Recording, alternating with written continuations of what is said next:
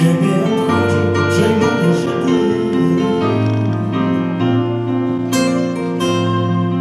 No niestety na świecie nie dzieje się zbyt dobrze.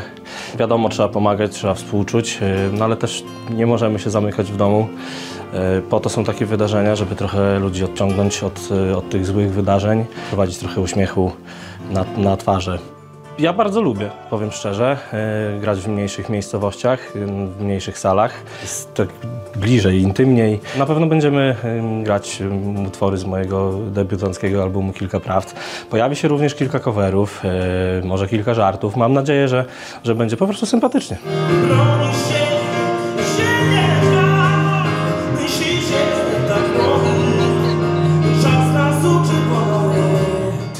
Cieszę się, że mamy praktycznie pełną salę, że pomimo właśnie tych trudnych wydarzeń wszystkie panie postanowiły jednak odprężyć się przy sobocie, zrelaksować. Koncert, który mamy tutaj zaplanowany, planowaliśmy już od wielu, wielu tygodni.